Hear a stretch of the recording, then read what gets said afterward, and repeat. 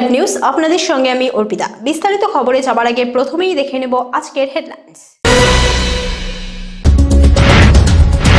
চাকরি না পেয়ে অবসাদে গলায় ফাঁস দিয়ে আত্মহত্যা যুবকের। বাড়ি থেকে বেরিয়ে রহস্যজনকভাবে মৃত্যু হলো এক মহিলার। নিউ টাউনের নির্মীয়মান মেট্রো প্রকল্পে ডাকাতির ঘটনায় গ্রেপ্তার মূল পাণ্ডা। ট্রেনে থাকায় মৃত্যু হল এক যুবকের। এবার গোলাপ এবং মিষ্টিমুখ করিয়ে লজ্জাজনকভাবে শুভেচ্ছা দেওয়া হলো বেআইনিভাবে রেল লাইন পারাপার করা যাত্রীদের।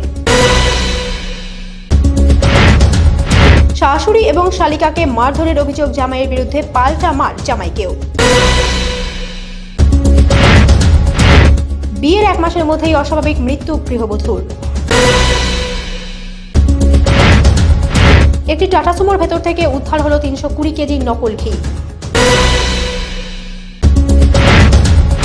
কেন্দ্রের বিরুদ্ধে একাধিক অভিযোগ তুলে জনসভার আয়োজন করল চাকদা ব্লক মহিলা Trinamool Congress. Helencha doctor B R Ambedkar শতবার্ষিকী কলেজে তৃণমূল ছাত্র পরিষদের উদ্যোগে। এবার আসছে বিস্তারিত খবরে। চাকরি না পেয়ে অবসাদে গলায় ফাঁস দিয়ে আত্মঘাতী হলো যুবক। মৃত যুবকের নাম সাধন বিশ্বাস। ঘটনাটি ঘটেছে নদিয়া শান্তিপুরের দক্ষিণপাড়া এলাকায়। এদিন সকালে তার ঘর থেকে তার ঝুলন্ত দেহ উদ্ধার করা হয়েছে। চাকরির পরীক্ষায় অকৃতকার্য হয়ে মানসিক অবসাদে গলায় ফাঁস দিয়ে আত্মঘাতী যুবক। মৃত যুবকের নাম সাধন বিশ্বাস। ঘটনাটি ঘটেছে নদিয়ার শান্তিপুরে। সূত্রের খবর, শান্তিপুর থানার বাবলা দক্ষিণ পাড়ার বাসিন্দা সাধন বিশ্বাস সম্প্রতি গ্রুপ ডি এর পরীক্ষা দিয়েছিল। লিখিত পরীক্ষায় পাশ করলেও ভাইভাতে অকৃতকার্য হয় ওই যুবক। পরিবারের অভিযোগ তারপর থেকেই মানসিক অবসাদে ভুগছিল সাধন। বৃহস্পতিবার সকালে পরিবারের লোকজন দেখতে পান, নিজের ঘরে গলায় ফাঁস লাগিয়ে ঝুলন্ত অবস্থায় রয়েছে সাধন। এরপরই শান্তিপুর থানায় খবর দেওয়া হলে পুলিশ এসে মৃতদেহটিকে উদ্ধার করে ময়নাতদন্তের জন্য পাঠিয়েছে। এই ঘটনায় এলাকায় নেমে এসেছে শোকের ছায়া। কিচ্ছু হয়নি, আমাকে গলা জড়িয়ে ধরে আমি শুয়ে থাকি। আর কালকে ছেলে আমাকে ঘর থেকে বের করে দিয়েছে। ও মা আমার ভালো লাগছে, তুমি আজকে ঘর থেকে বেরিয়ে যাও। তোমার শরীর খুব খারাপ, আমি আজকে ঘুমাবো। পাশের ঘরে দিদি শুয়ে থাকে বলে আর ভয় করবে না আর ভয় করবে না মা আমার আর ভয় করবে না। আমার আজকে ভালো লাগছে। ছেলের আমি খালি গলায় হাত বুলাই মাথায় হাত বুলাই মাথায় তেল জল দিই কালকে কখন হয়েছে ঘটনা? কালকে আমি রাত বারোটা অব্দি ছেলের কাছে বসেছিলাম। আমি বেরিয়ে গেছি ঘর থেকে। বেরিয়ে গেছি তারপরে ছেলে কখন করেছে আমি আর বুঝতে পারছি না। আমি ভোর চারটেই যখন উঠেছি উঠে দরজা আমি ভাজা নিয়েছে যে দরজা খুলতে গেছি আর তখন দেখছি আমার ছেলে ঝলছে। আমার ছেলে ঝলছে। কি কারণে? কি কারণে? খালি পরীক্ষা পাস করতে পারিনি। পরীক্ষায় পাশ করতে পারিনি আর। বাড়ি থেকে বেরিয়ে রহস্যজনকভাবে মৃত্যু হলো এক মহিলার। মৃতা মহিলার নাম শৈবা বিশ্বাস। তার বাড়ি উত্তর চব্বিশ পরগনার গাজীপুর এলাকায়। খবর পেয়ে তার পরিবারের লোকজন রানাঘাট হাসপাতালে পৌঁছে ওই মহিলাকে মৃত অবস্থায় দেখতে পান বলে জানা গেছে। উত্তর চব্বিশ পরগনার গাজীপুরের বাসিন্দা বছর পঁয়তাল্লিশের গৃহবধূ শৈবা বিশ্বাস বাড়িতে বলে বেরিয়েছিলেন, মেয়ের বাড়িতে যাচ্ছিলেন। বুধবার সন্ধ্যায় তার পরিবারের এক সদস্যের মোবাইলে ফোন আসে। ফোনের অপর প্রান্ত থেকে জানানো হয়, শৈবা দেবী দুর্ঘটনায় পড়েছেন। তিনি বর্তমানে রানাঘাট মহকুমা হাসপাতালে ভর্তি আছেন। এরপর পরিবারের লোকেরা এসে দেখতে পান শৈবা দেবীর নিথর মৃতদেহ পড়ে আছে হাসপাতালের বেডে। তার এই অকাল প্রয়াণে শোকের ছায়া নেমে এসেছে পরিবারের লোকেদের মধ্যে। তবে ঠিক কী কারণে তার মৃত্যু হয়েছে, তার সঠিক কারণ সন্ধানে তদন্ত শুরু করেছে পুলিশ। নাগাদ ফোন এসছে শ্বশুরবাড়ি থেকে। আমার যে বড় শালি আছে তার বাড়িতে।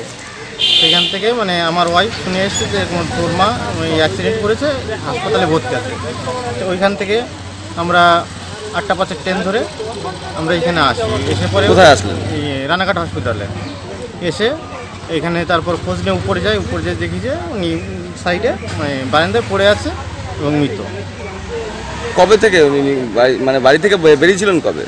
বাড়ি থেকে বেরিয়েছিলেন যেটুকু শুনেছি মানে কালকে গেছে বুধবার। বুধবার। মানে তার তার আগের দিন বিকাল দুপুর থেকে বিকালের মধ্যে বেরিয়েছিল। নিউ টাউনের নির্মীয়মান মেট্রো প্রকল্পে ডাকাতির ঘটনায় গ্রেপ্তার মূল পান্ডার রাজা জয়সওয়াল। তাকে গ্রেপ্তার করল নিউ টাউন থানার পুলিশ। নিউ টাউনের হাতিয়ার থেকে পুলিশ তাকে গ্রেপ্তার করেছে। বৃহস্পতিবার তাকে বারাসাত আদালতে তোলা হয়। মেট্রো প্রকল্পে ডাকাতির ঘটনার মূল পাণ্ডা রাজা জাসওয়ালকে গ্রেপ্তার করল নিউটাউন থানার পুলিশ। নিউটাউনের হাতিয়ারা থেকে তাকে গ্রেপ্তার করা হয়। বৃহস্পতিবার ধৃতকে বারাসাত আদালতে তোলা হয়েছে। পুলিশ সূত্রে খবর, এই রাজা হলো নিউ টাউনের মেট্রো প্রকল্পের চুরি ও ডাকাতির ঘটনার মাস্টার মাইন্ড রাজা নিউটাউনে রাতের বেলায় ঘুরে ঘুরে রেকি করত। কোন প্রজেক্টে কখন কোথায় নিরাপত্তা রক্ষী থাকে, শুধু তাই নয়, কোথায় চুরি হবে এবং তার জন্য কোথা থেকে লোক আনতে হবে, পুরোটাই দেখতো রাজা। বুধবার গোপন সূত্রে খবর পেয়ে হাতিয়ারা থেকে তাকে গ্রেপ্তার করা হয়। ধৃতকে জিজ্ঞাসাবাদ করে পুলিশ জানার চেষ্টা করছে, এই চোরাই জিনিসপত্রগুলি তারা কোথায় বিক্রি করত। আর এর সাথে আরও কারা জড়িত আছে, তা নিয়েও চলছে তদন্ত। সময় এখন ছোট্ট একটা বিরতি, দেখতে থাকুন Bengal live news.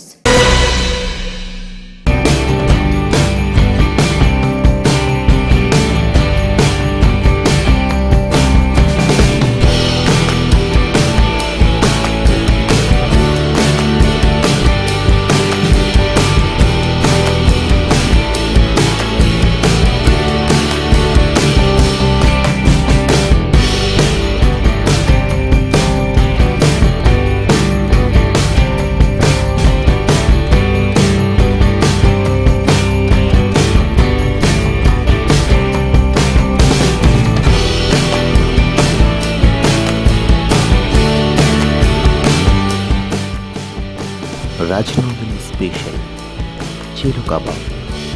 Absolutely free of delivery in five kilometres Rajnandini restaurant make your every moment special তোমার সঙ্গে আড়ি যাব বাপের বাড়ি। পুজোয় যদি না কিনে দাও দি শ্রীকৃষ্ণ বস্ত্রালয়ের শাড়ি। সর্বভারতীয় শাড়ির অনন্য সম্ভার দি শ্রীকৃষ্ণ বস্ত্রালয়। পুরনো ইউবিআই গুলি হাবড়া। জ্যোতিষ ভগবান নয়। কেবলমাত্র আপনার সমাধানের পথ বলে দিতে পারেন। আপনার শহরে এই সর্বপ্রথম আধুনিক জ্যোতির্বিদ জ্যোতিষ রত্ন, হস্তরেখা রত্ন ও গণকাচার্য শ্রী তমাল চক্রবর্তী। একশো শতাংশ বিজ্ঞান ভিত্তিক প্রেডিকশন। বিদ্যায় বাধা, বিবাহে বাধা, দাম্পত্য কলহ, ব্যবসায় বাধা, মাঙ্গলিক দোষ, কালসর্প দোষ সহ যে কোনো সমস্যার সঠিক দিশা পেতে আসুন হরোস্কোপ এক্সপার্ট তমাল চক্রবর্তীর কাছে। চেম্বার, হাবড়া, প্রতি শনিবার বিকেল চারটে থেকে সাতটা পর্যন্ত বনগা প্রতি সোমবার বিকেল পাঁচটা থেকে আটটা পর্যন্ত বাগদা প্রতি মঙ্গলবার বিকেল পাঁচটা থেকে আটটা পর্যন্ত রানাঘাট প্রতি রবিবার সকাল দশটা থেকে ছটা পর্যন্ত। Booking number six two nine five triple three nine one five অথবা eight seven six eight four six double eight seven six এই নম্বরে।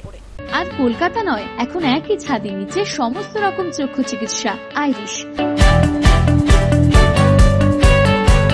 আইরিশ হেলথ পয়েন্টে রয়েছে অত্যাধুনিক যন্ত্রের মাধ্যমে চক্ষু পরীক্ষার সুব্যবস্থা। যেমন চোখের স্ক্যান চোখের আলট্রাসোনোগ্রাফি চোখের প্রেশার ও লেজার পরীক্ষার মতন অত্যাধুনিক চিকিৎসা পদ্ধতি। পাশাপাশি অভিজ্ঞ চিকিৎসক মন্ডলী দ্বারা ডায়াবেটিক রোগীদের চোখের রেটিনা ও গ্লকোমার চিকিৎসা। এছাড়া রয়েছে বিনা ইঞ্জেকশনে বিনা রক্তপাতে ও বিনা ব্যথায় অত্যাধুনিক মেশিনের সাহায্যে ছানি সহ চোখের অন্যান্য অপারেশনের সুব্যবস্থা। ঠিকানা ফুলসরা road Chandpara, Uttar Chabbish Pargana. Contact zero three two one five two five one double two four Iris, আপনার চোখের সুখের ঠিকানা। ফিরে এলাম বিরতির পর, আপনারা দেখছেন বেঙ্গল লাইভ নিউজ। ট্রেনে থাকায় মৃত্যু হলো এক যুবকের। ঘটনাটি ঘটেছে গুমা পঁচিশ নম্বর রেল স্টেশনের কাছে। মৃত যুবকের নাম কালিবুল রহমান। তার বাড়ির শাসন থানার নাগেরিয়া গ্রামে বলে জানা গেছে।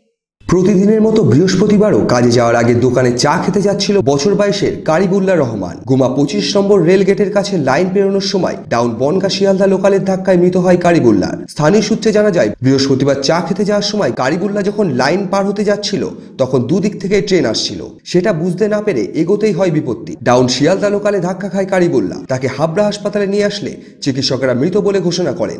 জানা গিয়েছে, মৃত ওই যুবকের বাড়ি শাসন থানার নাগরিয়া গ্রামে। দেহটিকে ময়নাতদন্তের জন্য পাঠানো হয়েছে। ছেলেরা ঘরের থেকে বার হয়ে গেছে। কেউ বেরাস করছে মুখ ধরছে, সবাই কাজের সাইডে যাবে। তো ও এখন বাথরুম বাথরুম করে রেলতে হেঁটে হেঁটে আসছে। সামনে একটা দোকান ছিল, চায়ের দোকান, সেখানে চা খেতে যাবে। আমরা কিছু লোক রুমে আছি। আর ও, ওর দাদা আমার একটা ভাই, যেখানে বাথরুম করেছে, সেখান থেকে দাঁড়িয়ে রয়েছে, সেখানে। মানে ওখান থেকে পাঁচ মিনিট দূরত্ব। তো ওর দাদা একবার বারণ করেছে, ভাই, একটু পরে যাবি, বস। কিন্তু শুনিনি, তবুও চলে আসছে। ও খাবে, একটু চা, কাজে যাবে। তো চা খাওয়া খেতে নিচে আবার নিচে লেবে গেছে। মানে বারাসাত থেকে একটা গাড়ি ঢুকছে, ওই গাড়ি ও লক্ষ্য করে সামনে উঠছে। মানে লংটা বেশি এমন একটা লং ছিল। আর চারিদিকে আবদার করে না, দোকানটা ওই জায়গায় ও বুঝতে পারি পিছন থেকে গাড়ি ঢুকছে। বারাসাত থেকে অশোক যাচ্ছে আর হ্যাঁ বনগার লাইনটা বারাসাত যাচ্ছে ডবল লাইনে গাড়িটা ঢুকেছে। তো ওই গাড়িটা ও লক্ষ্য করে পিছনে গাড়ি খেয়াল করতে পারে। তবুও আমার ওপর তো দেখতে পাচ্ছি যে ও গাড়ি গাড়ি ঢুকছে, ওরা এত হাঁকছে বুঝতে পারে না। হালকা শুধু মুখটা ঘুরে দেখেছে গাড়ি আসছে দুই থেকে তিন পা পিছনে পড়ে গেছে তারপর ওই ট্রেন ওই সিঁড়িতে বাড়ি খেয়ে পড়ে গেছে। উনি কি করতো? রেলে কাজ করতো? উনি সবাই রেলে রেলের কাজ করায় সিঙ্গেলের লাইনে আজকে কি রেলে কাজ ছিল? হ্যাঁ অবশ্যই কাজ ছিল। কাজ ছিল এবং কাজে যাওয়ার তৈরি পদ্ধতি ছিল যাওয়ার সময় ছেলেগুলো মানে সব সাই ছুটি রয়েছে কেউ চা খাচ্ছে কেউ ভাত খাচ্ছে। কিন্তু ও যে কীভাবে ওই সাইডে কখন পৌঁছে গেল আর ও যখন ওটার সময় একটু খেয়াল করতেন পিছনে গাড়ি হয়ে গেছে। কোন জায়গাটা হয় এটা? এটা গুমার মিডিলে পঁচিশ নম্বর গেট গেটেরই পাশেই একদম। কি নাম ওনার? ওনার কারিগরি। এবার গোলাপ এবং মিষ্টিমুখ করিয়ে লজ্জাজনকভাবে শুভেচ্ছা জানানো হলো বেআইনিভাবে রেল লাইন পারাপারকারী যাত্রীদের। বিগত কয়েক মাসে বেশ কিছু যাত্রী ট্রেনে ধাক্কায় মৃত্যু হয়েছে। তাদেরকে সতর্ক করতেই রেল পুলিশের এই নতুন উদ্যোগ। প্রতি বছরই ট্রেনের ধাক্কায় প্রচুর মানুষের মৃত্যুর খবর উঠে আসে। কখনো অসতর্ক হয়ে কানে হেডফোন দিয়ে রেল লাইন দিয়ে চলাচল করা, তো কখনো ওভারব্রিজ না ব্যবহার করে বেআইনিভাবে রেল লাইন পারাপার করা। এবার এমনই কিছু যাত্রীদের হাতে গোলাপ ও মিষ্টিমুখ করিয়ে লজ্জাজনক শুভেচ্ছা দিয়ে সতর্ক করল বনগাঁ রেল পুলিশ। বনগাঁ স্টেশনে দুটি ফ্লাইওভার থাকা সত্ত্বেও প্রায় আশি শতাংশ যাত্রী বেআইনিভাবে রেল লাইন পারাপার করেন। পরিসংখ্যান বলছে, বিগত কয়েক মাসে প্রায় পঞ্চাশ জনেরও বেশি ব্যক্তির মৃত্যু হয়েছে এই অসতর্কতার বশে। সেই কারণে সমস্ত যাত্রীদের সতর্ক করতেই বনগাঁ রেল পুলিশের এই উদ্যোগ। লাইন একটা মিছিল বের করছে তাদের ভলেন্টিয়াররা রয়েছে। প্রতিদিন দেখা যায় যে লাইন হচ্ছে প্যাসেঞ্জাররা সচেতন নিজের জীবনের প্রতি সচেতনতা না রেখে তারা লাইন পার হচ্ছে। এতে অনেক মানুষ মারা যাচ্ছে রেলে কাটা পড়ছে সেই সচেতন করার জন্য বড়বাবু আজকে লোকনাথ ঘোষ যে ঠিকানা বড়বাবু তিনি সেফ ড্রাইভ সেফ ড্রাইভের মাধ্যমে মানুষকে গোলাপ ফুল এবং লাড্ডু দিয়ে মানুষকে সচেতন করার চেষ্টা করছে। মানুষ কানে হেডফোন দিয়ে ফোনে কথা বলতে বলতে লাইন পারাপার করছে। আমরা দেখতে পাচ্ছি বিভিন্ন পেপারেও দেখা যাচ্ছে যে সমস্ত জিনিসগুলো তার জন্য বড় বড় সচেতন করছে যে যেন মানুষ তার নিজের জীবনের প্রতি সচেতন হয়। এখন পর্যন্ত খবরাখবর নিয়ে আমরা তো লোকালি আমরা এখানে জানি যে মোটামুটি পঞ্চাশ থেকে ষাট জন টোটাল ডিভিশনে মারা গেছে। আমাদের বন্যা জিআরপির আন্ডারেই বড়বাবু আগের দিন জন এই মাসেই মিটে গেছে। ধন্যবাদ জানাই যে মানুষকে এরকম সচেতনমূলক কাজ করার জন্য যে মানুষের সাথে আছে বড়বাবু মানুষকে সচেতন করছে। এবার যেন মানুষের সেই মানে সচেতন হয় যে মানুষ নিজের জীবনটাকে যেন বিপন্নভাবে এইভাবে পারাপার না। শাশুড়ি এবং শালিকাকে বেধরক মারধরের অভিযোগ উঠল জামাইয়ের বিরুদ্ধে। আক্রান্তরা পাল্টা আক্রমণ চালায় জামাইয়ের ওপর। বর্তমানে গুরুতর আহত অবস্থায় বিধাননগর হাসপাতালে চিকিৎসাধীন শাশুড়ি জামাই শালিকা তিনজনই। সন্তানকে হোস্টেলে পাঠানোকে কেন্দ্র করে শাশুড়ি ও শালিকাকে পেটালো জামাই। জামাইকে পাল্টা মার আক্রান্তদেরও। গুরুতর জখম অবস্থায় শাশুড়ি জামাই এবং শালিকাকে উদ্ধার করে বিধাননগর হাসপাতালে ভর্তি করেছে বিধাননগর দক্ষিণ থানার পুলিশ। লোহার চেন ও তালা দিয়ে শাশুড়ি বুলু মণ্ডল ও শালিকা শেফালি মণ্ডলকে মারধরের অভিযোগ ওঠে জামাইয়ের বিরুদ্ধে। পরেশনাথ পাসওয়ান নামে অভিযুক্ত জামাইকে আটক করেছে বিধাননগর থানার পুলিশ। উভয় পক্ষেই বিধাননগর থানায় একে অপরের বিরুদ্ধে অভিযোগ দায়ের করেছে। ঘটনার তদন্তে নেমেছে বিধাননগর দক্ষিণ থানার পুলিশ। আমার বাবা এসেছিল আমাকে নিতে। তো দিদা ওখানে বসেছিল, আমি এদের আমি এদের ঘরে বসেছিলাম। বাবা হাত ধুয়ে এখানে টেনেছে বলে দিদা হাতটা ছাড়িয়ে বলেছে কি আমি দীপ তো যেতে চাইছে না, তো তুমি ওকে কেন নিয়ে যাচ্ছ? বা, দিদা খালি এটা বলেছিল। তো বাবা যে তালা চাবিটাকে নিয়ে দিদার দিদার কপালে মেরেছে আর মাসির কপালে মেরেছে, দিদা, দিদার আর মাসির কপাল ফেটে গেছে। তো এটা নিয়ে নিচে অনেক ঝামেলা হয়েছিল। আর তোমাকে কোথায় নিয়ে যেতে চাইছিলে? হোস্টেলে। তুমি কি হোস্টেলে যেতে চাইছিলে? না। কেন চাইছিলে না বাবা? ওখানে মারতো মারলো কেন? বাচ্চা আটকে ছিলাম বলে হচ্ছে নি বাচ্চাকে অন্য জায়গায় দিয়ে দিচ্ছে। বাচ্চাকে আমাদের কাছে রাখতে চাইছি। ও আমাদের কাছে রাখবে না। ও বোর্ডিংয়ে দিতে যাচ্ছে আর বোর্ডিংয়ে ছেলে থাকছে না। খাওয়া দাওয়া ভালো না। মারধর করছে। ও থাকছে না। ছোটোবেলা দিয়ে আমাদের কাছে মানুষ। তো আজকে কি ঘটনা ঘটেছিল? আজকে ঘটনা ঘটেছে জামাই বাচ্চা চাইতে গেছে আমি বাচ্চা দিইনি আছে থাক আমাদের কাছে। ফট করে ছেগল নিয়ে আমাকে মারলো। তোমার মেয়ে ঠেকাতে গেছে মেয়েকে মারলো। আমার ছেলেকে হোস্টেলে দিয়েছি আমার বলছে কি ছেলেকে দেওয়া হবে না। আমার বউ যে একজনের সাথে এঙ্গেজ আছে তার নাম হচ্ছে সুদেব দাস। ওর মা বাবা পুরো পুরো যেমন সাপোর্ট করছে ওর সাথে সংসার করতে হবে না ওকে সাথে তুই যেমন চলে যা। এটা নিয়ে আমাকে দুবার আমার টর্চার হয়েছে ছয় নবীতে। টর্চার হবার পর ছেলেকে আমি দিয়েছি এখন বলছে আমার ছেলেকে ছেলেকে দেবো। তখনই ওর জন্য ছেলে নিতে গেছি, তখনই সবাই মিলে আমাকে বিয়ের এক মাসের মধ্যেই অস্বাভাবিকভাবে মৃত্যু হলো এক গৃহবধূর। ঘটনাটি ঘটেছে হাসনাবাদের শিমুলিয়ার কালীবাড়ি এলাকায়। মৃত গৃহবধূর নাম মৌসুমী দাস। তার পরিবারের তরফ থেকে শ্বশুরবাড়ির লোকেদের বিরুদ্ধে অভিযোগ দায়ের করা হয়েছে থানায়।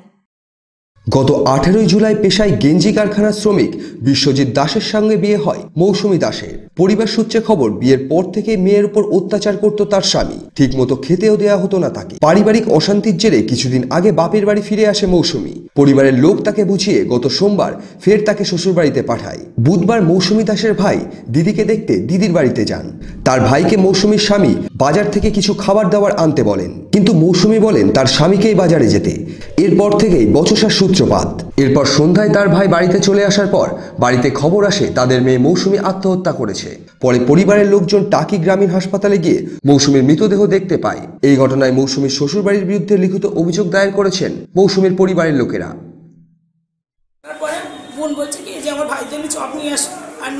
বলছে তুই যাও, বসে আছো, তুমি যাও। বোন বলছে, কেন? তুমি বসে আছো আমার- ভাই কেন যাবে? বলছে তাহলে থাক খেতে হবে না। বলে এই নিয়ে ওদের মধ্যে খুব গন্ডগোল হয়েছে। ভাই চলেই গেল। তারপরে ওদের মধ্যে কী হয়েছে ভাই আর জানে না। ভাই এইটুকু শুনেছে যে ওদের মধ্যে খুব তর্ক হয়েছে। আশেপাশে এক আমার ননদ আছে সে নাকি বলছে ওদের মধ্যে খুব একামেকি ঝগড়া হচ্ছিল। তারপরেই তো এই ঘটনা আমরা শুনলাম। আপনারা কার কাছ থেকে শুনতে পেলেন? আমার পাশে এক আমার ননদ আছে সেখানে শুনতে পেলাম।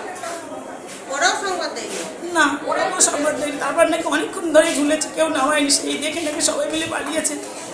সময় এখন ছোট্ট একটা বিরতি দেখতে থাকুন বেঙ্গল লাইভ নিউজ। সুখবর আনন্দের খবর খবর জবর। মা কালীর আশীর্বাদ ধন্য বরপুত্র জ্যোতিষ পুরোহিত রাজশাস্ত্রী এখন আপনার এলাকায়। জ্যোতিষ পুরোহিত রাজশাস্ত্রী শুভ অশুভ রেখা বিচার করছেন। এছাড়াও তান্ত্রিক মতে গৃহে শান্তি ফেরানো এবং বিভিন্ন প্রকার সমস্যা, যেমন স্বামী স্ত্রীর কলহ বিবাদ, ব্যর্থ প্রেম, বশীকরণ, কন্যার বিবাহে বাধা, ব্যবসায় লোকসান, পড়াশোনায় অমনোযোগী, চাকুরিতে বাধা প্রভৃতি সমস্যার সমাধান করছেন এবং বাস্তুদোষ ও গ্যারান্টি সহকারে বাড়ি বন্ধন করছেন জ্যোতিষ পুরোহিত রাজশাস্ত্রী। বিশেষভাবে মনে রাখবেন, বন্ধানারীর চিকিৎসায় অত্যন্ত পারদর্শী জ্যোতিষ পুরোহিত রাজশাস্ত্রী। তাই যে কোনো সমস্যার নির্ভরযোগ্য ও সুষ্ঠু সমাধান পেতে যোগাযোগ করুন জ্যোতিষ পুরোহিত রাজশাস্ত্রীর চেম্বারে। জ্যোতিষ পুরোহিত রাজশাস্ত্রী প্রতি রবিবার ও শুক্রবার দুপুর বারোটা থেকে সন্ধে সাতটা পর্যন্ত বসছেন সিন্দ্রানী পেট্রোল পাম্পের বিপরীতে তার চেম্বারে এবং শিলিন্দাতে বসছেন প্রতি মঙ্গল, বুধ ও শনিবার সকাল দশটা থেকে পাঁচটা পর্যন্ত। বিশদে জানতে এবং বুকিংয়ের জন্য ফোন করুন এই নম্বরে nine six one four seven double three five seven two. জ্যোতিষ পুরোহিত রাজশাস্ত্রী।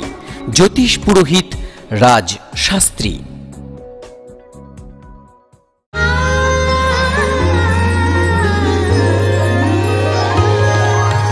ও গো মোর পিয়া ও গো বধু সুন্দরী। নব রূপে আসো আহা মরি মরি তুমি অন্তরে যত থেকো মোর সোনার পরি তোমার অলঙ্কারে পূর্ণ তোমার রূপ মাধুরী। খাঁটি অলংকারের প্রতিশ্রুতি, new Singh jewellers, Bongaon, Uttar Chabbish Pargana. Habib's hair and beauty আপনার স্বাদ ও সাধ্যের মধ্যে। এবার পুজোতে হাবিবস দিচ্ছে সকল প্যাকেজের উপরে আপ টু ফিফটি পার্সেন্ট পর্যন্ত বিশেষ ছাড়। আধুনিক ট্যাটু কিংবা কোণে সাজানো হাবিবস রয়েছে সবার উপরে আপনার মন জয় করবার জন্য। আমাদের এখানে তিন মাস ও ছ মাসের আন্তর্জাতিক মানের হেয়ার কাটিং, বিউটি ও মেকআপের কোর্স করানো হয় Habib's hair and beauty, Ghosh market court road Bongaon. আমাদের শাখা এবার বাটার মোড় মধুসাহা মার্কেটে। ফিরে এলাম বিরতির পর আপনারা দেখছেন বেঙ্গল লাইফ নিউজ। একটি টাটা সুমোর ভেতর থেকে তিনশো কুড়ি কেজি নকল ঘি উদ্ধার করল বনগা থানার পুলিশ। গ্রেপ্তার করা হয়েছে গাড়ির চালক পিন্টু কর্মকারকে। তার বাড়ি নদিয়ার শান্তিপুর এলাকায় বলে জানা গেছে। পাচার হওয়ার আগেই তিনশো কুড়ি কিলোগ্রাম নকল ঘি উদ্ধার করল বনগা থানার পুলিশ। বুধবার রাতে গোপন সূত্রে খবর পেয়ে বনগা তালতলা এলাকায় হানা দিয়ে একটি টাটা সুমোকে আটকায় পুলিশ। ওই সুমো গাড়ি তল্লাশি চালিয়েই উদ্ধার করা হয় এত পরিমাণ নকল ঘি। সেই সাথে গ্রেপ্তার করা হয় গাড়ির চালককে।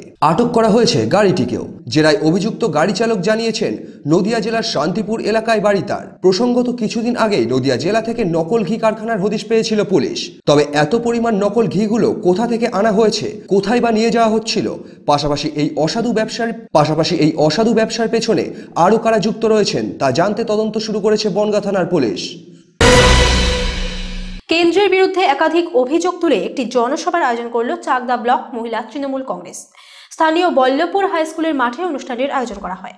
ভারতের প্রাক্তন প্রধানমন্ত্রী অটল বিহারী বাজপেয়ীর চিতাভস্য নিয়ে রাজনীতি করছে বিজেপি। বৃহস্পতিবার চাকদায় একটি জনসভায় উপস্থিত হয়ে বিজেপির বিরুদ্ধে এমনই অভিযোগ তুললেন রাজ্য মহিলা তৃণমূল কংগ্রেসের সাধারণ সম্পাদিকা মহুয়া মৈত্র। এদিন চাকদা ব্লক মহিলা তৃণমূল কংগ্রেসের উদ্যোগে এনআরসি সহ কেন্দ্রের বিরুদ্ধে একাধিক অভিযোগ তুলে একটি জনসভার আয়োজন করা হয় বল্লভপুর হাই স্কুলের মাঠে। এই জনসভায় উপস্থিত হয়ে বিজেপিকে কড়া ভাষায় আক্রমণ করেন রাজ্য মহিলা তৃণমূল কংগ্রেসের সাধারণ সম্পাদিকা মহুয়া মৈত্র। তার সাথে কাজ তিনি মারা গিয়েছেন। তার আজকে চিতা ভস্য নিয়ে রাজনীতি করছেন। এটা কত নিম্নমানের মানসিকতা আপনারা ভাবেন? আপনারা ভাবেন তার চিতা ভস্য নিয়ে লোকসভা অব্দি কোথায় টানা যায়, কোথায় মন্দির করা যায়, কোথায় নবদ্বীপে নেওয়া যায়, কোথায় হরিদ্বারে নেওয়া যায়, সবকিছু। যে একই জিনিস আমি বলছি, যে এদের সোজা রথ হলো, উল্টো রথ হলো, হনুমান জয়ন্তী হলো, এই যে এবার কৃষ্ণর বাঁশি নিয়েও তারা কিন্তু দেখবেন, এই তো আসছে দু তারিখে জন্মাষ্টমী, কৃষ্ণের বাঁশি নিয়েও তারা কিন্তু এবার রাজনীতি করবে আমি গ্যারেন্টি দিয়ে দিচ্ছি আপনাকে।